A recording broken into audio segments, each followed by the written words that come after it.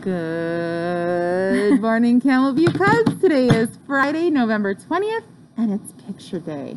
So smile. And we're running on a day three schedule. Please stand for the Pledge of Allegiance, followed by a moment of silence. I pledge allegiance to the flag of the United States of America and to the republic for which it stands, one nation, under God, indivisible, with liberty and justice for all.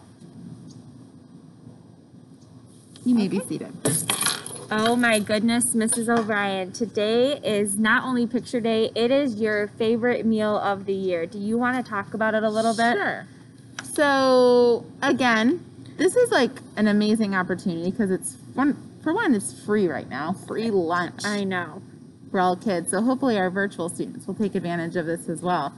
So today is the Thanksgiving Day lunch. So mm-hmm. we're having turkey and gravy, mm-hmm. turkey and cheese sandwich, and a mm-hmm. PB and J sandwich option as well. And I think they also have a little pumpkin pie, which I'm not a huge fan of pumpkin pie, but I do like eating it once or twice a year. Yes, the mashed potatoes are amazing. Okay, boys and girls, let's see. Um, next week is a super short week. It's only two days of school because we have Wednesday, Thursday, and Friday off to celebrate um, our fall holiday. And guess what? We have a birthday tomorrow, a Saturday birthday. Miss Lexi, our first grade aide, has a birthday. So if you see her in the hallways today, give her an extra special shout out. Happy, birthday, Miss Lexi. Okay, again, boys and girls, it's still that family fun event that you guys can go to over by the stadium and you drive through the lights. Um, it, I've heard from some of our community members that they went and they had a wonderful time. So if you want to go do that, check it out and let us know. Okay, fun fact, Miss O'Brien.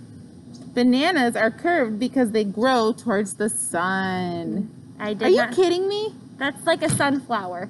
A what if it's a cloudy place? What if it? What if they're like very cloudy? Like for example, Washington. Well, There's don't- a lot of sunlight there. I just don't think that Washington has the right climate for a banana. Yeah, they probably don't grow there. No. that's a good point. That's true.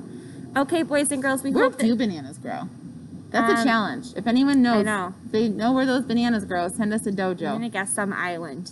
Probably. Yeah, or Florida. Mm. Okay, boys and girls, we hope that you have a wonderful and safe weekend and make sure you follow your Cubs expectations even when you're not at school so that our vision can come true.